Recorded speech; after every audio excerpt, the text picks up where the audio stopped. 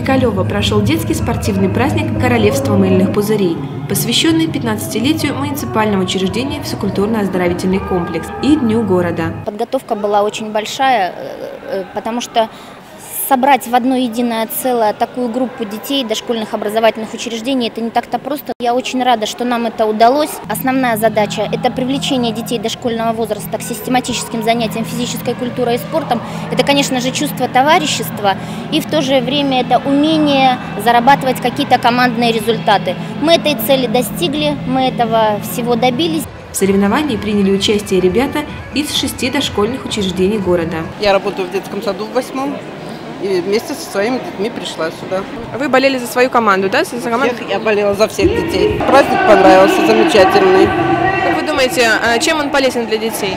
Ну, всем, конечно. Ребята научились многому. Все, учатся общаться вместе друг с другом.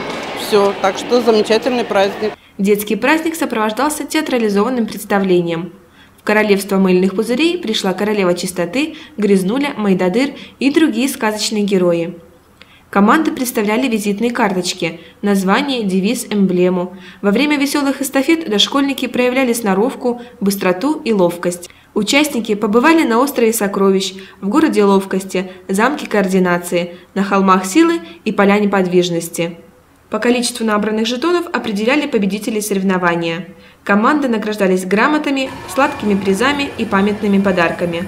Самые ловкие ребята из детского сада номер 7, самые сильные из детского сада номер 6. Команда детского сада номер 9 награждена в номинации «Самые быстрые». Самые меткие дети в детском саду номер 8.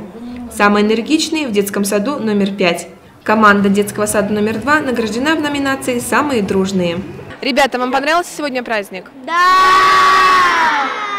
Никита, тебе понравился праздник? Да. А что ты сегодня интересного здесь увидел?